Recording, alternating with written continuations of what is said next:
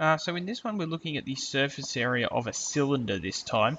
Uh, now you'll remember from a previous video that the surface area of a cylinder can be described uh, by two circles on top and bottom and uh, by a rectangle in the middle. Now that really depends on the type of cylinder we'll discuss that at the end of the video. Now it's very important that, um, I'm going to show you a formula here, but it's very, very important that you use it with caution because it's only going to work some of the time.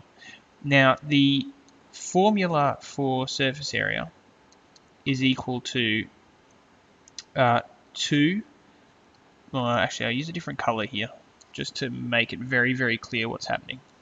Surface area is equal to 2 pi r squared. Now the reason 2 pi r squared is in our formula is that's going to find us our circles times 2. So remember the area of a circle is pi r squared. So this part of our formula, this part of our formula here finds one circle and then we multiply it by 2 because we want to find two circles. So this part finds the area of the two circles. Uh, now the second part is designed to find the rectangle. Now the formula for finding the rectangle is, uh, let's see, how do I want to word this? Let's use 2 pi d, uh, I'll use the same formula that'll be on the sheet, 2 pi r h. Okay, uh, the way that this formula works is the 2 pi r finds the circumference of the circle. That is the distance around the circle. Because the distance around the circle is going to be equal to this length here. So the 2 pi r finds that length, and finally the h on the end finds the height. Now, uh, I'll work through this one really, really quickly so you can see how it all works.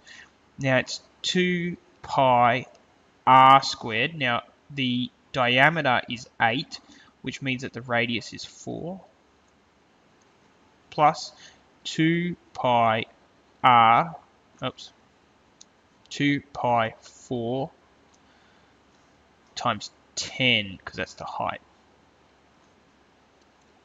It's really just a matter of putting all that into your calculator. So this part of our formula makes 100.52 or 53 I think. And this part here makes uh, 251.32. Okay, um, just remember that this part of our formula is finding the two circles. There's our area of the two circles. And this part of our formula here is finding the rectangle.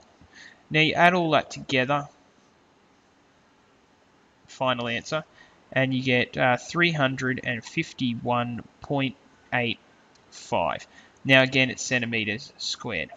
Now, important note. Important.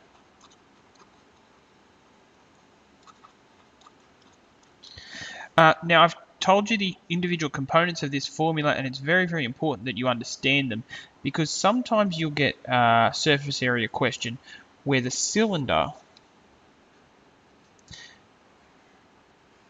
doesn't have a top. Uh, now, if it doesn't have a top, obviously you're only finding the area of the base and the area of the sides. So the formula for one where it doesn't have the top is the same formula, but there's no 2 at the front. Because remember the 2 tells us there's two circles. So the surface area of one without a top would be pi r squared plus 2 pi r h. There also might be other tricky questions where they ask you to paint, so they've got like an open cylinder, and they ask you to paint the inside and the outside. They want to find the surface area. So if you're painting the inside and the outside, it means you would still have two circles, because you would have a circle on the bottom and you'd have to paint the top of the bottom circle as well. But it also means that you'd have two of these because you'd have the outside of the cylinder and you'd have the inside of the cylinder. Uh, so these cylinders can get tricky, but if you understand how the formula works and what each part of the formula is finding you, this formula finds you the two circles, this formula finds you the rectangle, then you can break it up and use it however you need to use it.